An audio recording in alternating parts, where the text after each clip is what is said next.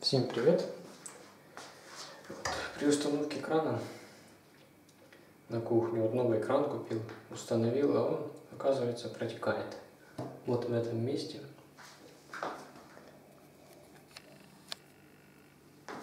Вот здесь вот протекает. Ну, посмотрел в интернете, там много советов. Пишут, что нужно менять кассет. Вот, ну, скорее всего, я подумал, и мне нужно менять. Поэтому вот начал его разбирать. Для этого необходимо вытащить эту штучку, которая показывает, где какая вода. Вот. Ну и затем найти там винтик. Там винтик откручивается вот таким ключом. Вот я попал в него. О! Так, открутил.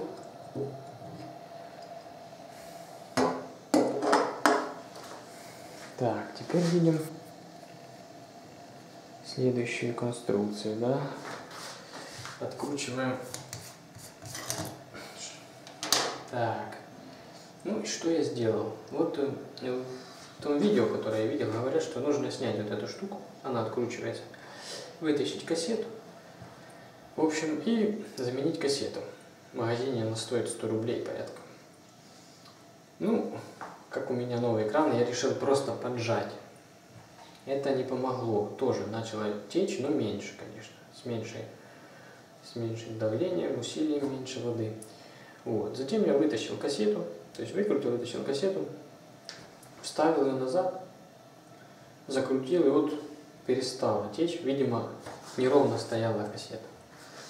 Вообще этот кран э, стоит 800 рублей. Продавец сказал, что здесь типа хорошая кассета, поэтому кран хороший. Ну, среднего уровня, да, скажем так. Вот. Поэтому